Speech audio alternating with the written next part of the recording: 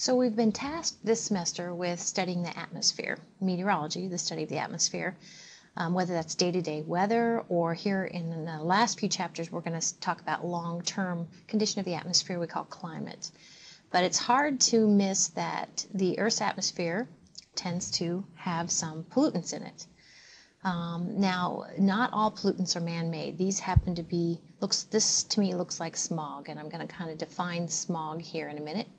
Um, and honestly, this is over China, and we're going to see that sometimes the day-to-day weather conditions, like a temperature inversion, can kind of put a, a cap on um, the pollutants that's being generated by a large city like this, and they they tend to kind of be socked in, and and that pollution can't go anywhere. They're kind of stuck with it.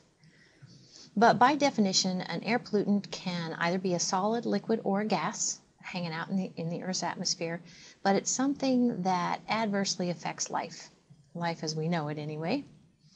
And as you might imagine, um, Mother Nature has her fair share of um, pollutants, solids, liquids, or gases that are in the Earth's atmosphere that as we breathe them in is not good. But um, so those would be natural sources, and also human activity has its fair share of putting um, pollutants into the atmosphere. If the pollutant comes from uh, human sources, we call those anthropogenic pollutants. Anthropogenic, coming from man. So to not just to give Mother Nature its due, and I have a list here of kind of different sort of natural pollutants, but um, smoke, just inhaling too much smoke, obviously, can kill you. And so these forest fires are an example of um, of putting pollution into the air. And um, actually, this was quite a Mother Nature thing. Lightning struck and started a forest fire.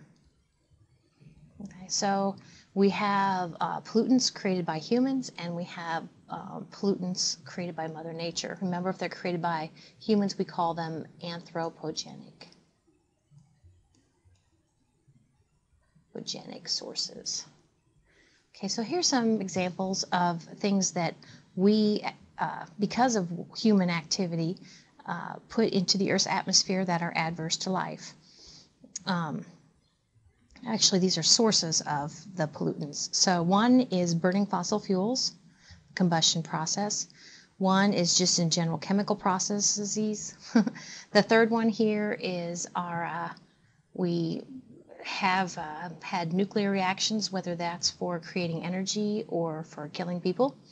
Um, just in general, we have in our factories, we have uh, processes that prepare, um, how do I say, our factories um, will put out uh, pollutants.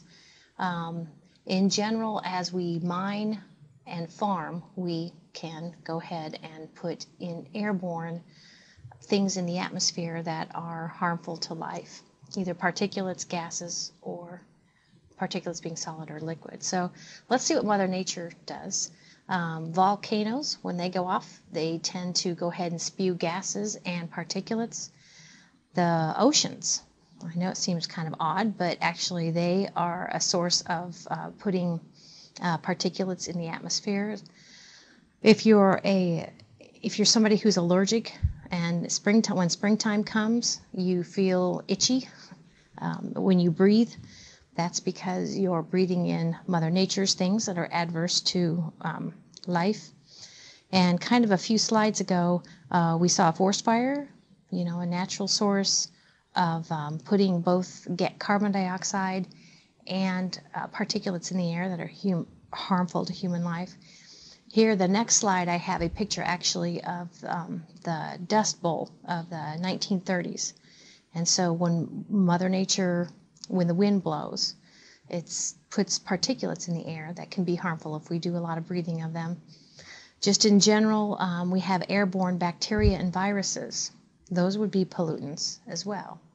Notice that the fire, um, blowing dust around, and airborne pollutants, or excuse me, airborne, airborne bacteria and viruses actually can be aggravated by humans, but they in themselves can also be natural. So in the 1930s, And I think I read recently that it kind of hit real hard in 1935 and 1936. In the 1930s, uh, we uh, that North America experienced what we call the Dust Bowl, and this is showing you this is a this is actually from the ground up. This is all just dust. Makes me want to cough just looking at it. It's very interesting. Um, if you the the history behind it. So